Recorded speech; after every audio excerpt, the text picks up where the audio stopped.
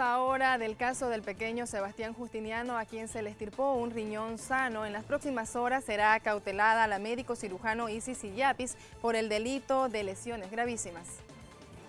Esta es la segunda imputación presentada por el Ministerio Público en el caso del niño Sebastián Isis Llapis, médico cirujana quien participó en la operación, es investigada por la presunta comisión del delito de lesiones gravísimas. Bueno, la imputación es de una resolución con carácter provisional. Está basada sobre la existencia de algunos indicios que el Ministerio Público considera sido importantes del análisis del cuaderno de investigación.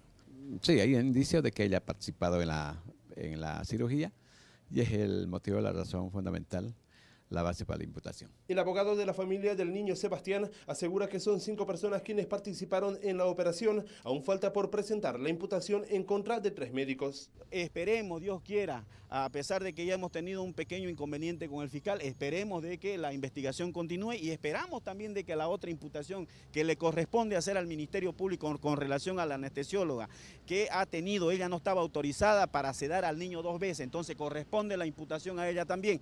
Entonces, por lo que también también vamos a esperar esa imputación a objeto de que se pueda hacer justicia con esta familia. La parte querellante está a la espera de que el juez décimo de instrucción cautelar de la capital cruceña fije hora y fecha de la audiencia. El Ministerio Público solicitará la detención preventiva para la imputada.